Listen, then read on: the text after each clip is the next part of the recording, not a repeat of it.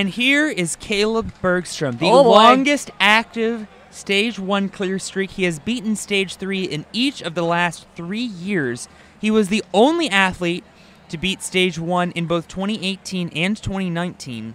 Um, however, he went out immediately on the dip trip uh, three years ago.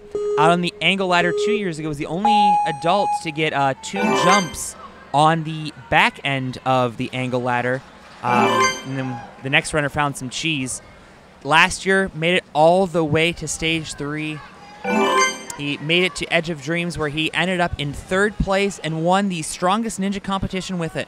We have um, in front of us the leaderboard, which shows us where athletes are compared to the fastest time.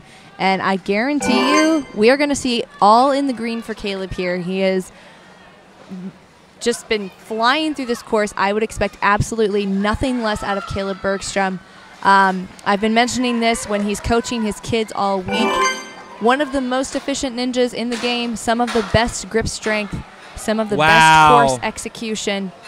Looking for that dismount. Having a little trouble There we go. here, but no oh problem wow! for him. He's losing a lot of time on Bazooka Barrel, and that is where we're going to see the fastest times determined. Is how fast you can get off aerial ba- uh, Bazooka Barrel. Wrong obstacle. Watch him link all of these. Oh, That's no, not a with the coincidence, by the way. All right, and looking like he's taking a bit more of a cautious approach, to. I think he's gonna beat the buzzer. He is not, but he will get the buzzer.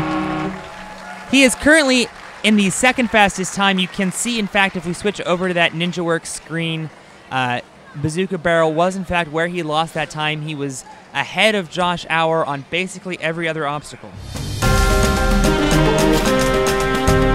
Thank you.